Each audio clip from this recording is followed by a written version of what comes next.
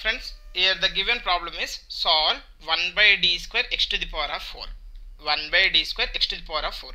We know that if d is called, actually d is called differential operator and uh, 1 by d is called inverse differential operator. Nothing but uh, integration.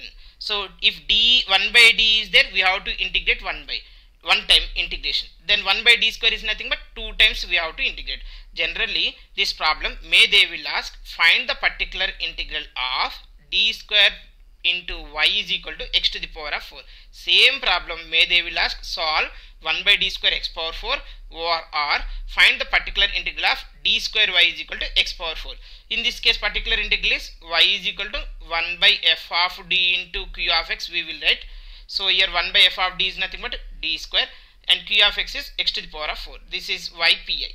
Okay. Now anyway they are given 1 by d square x to the power of 4. So here uh, is there any arbitrary plus 3 plus 4 plus 5 like general method? No, we can apply the direct method. In this case one time you have to integrate. First this one you can write in this form.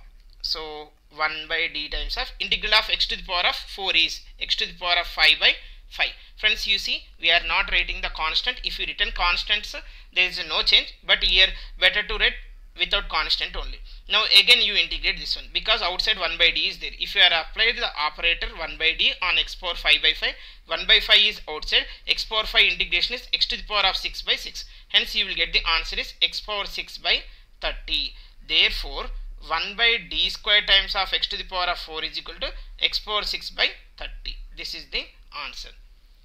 Thank you for watching this video.